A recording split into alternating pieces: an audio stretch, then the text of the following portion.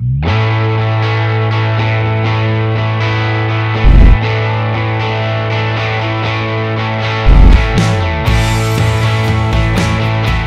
name is Jim Latrace. I own and operate llseeds.ca, a seed farm near Lumsden, Saskatchewan.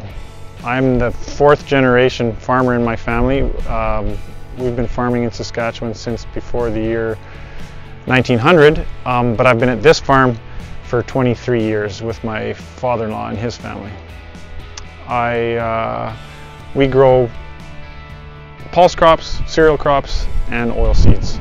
Most of them for seed except for canola, no canola seed.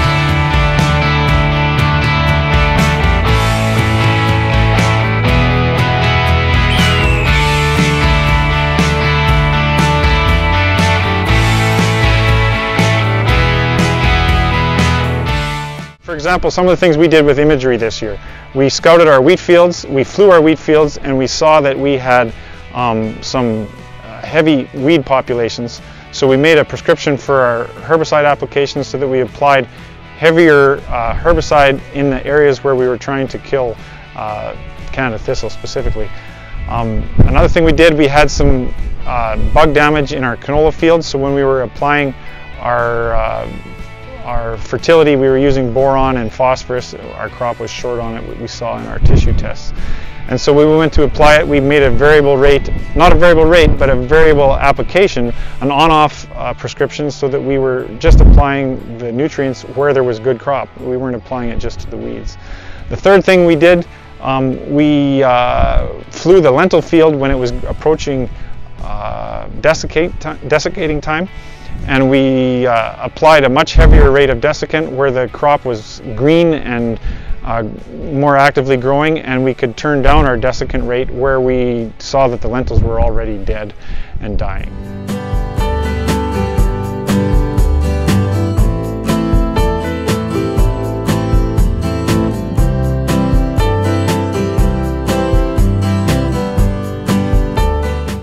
We started using uh, imagery a couple of years ago.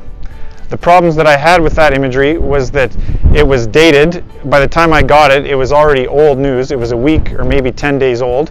And uh, the resolution was much too wide. Uh, it's really hard to find your small problems with bug damage and uh, germination damage if you have a resolution of between 3 and 10 meters per pixel.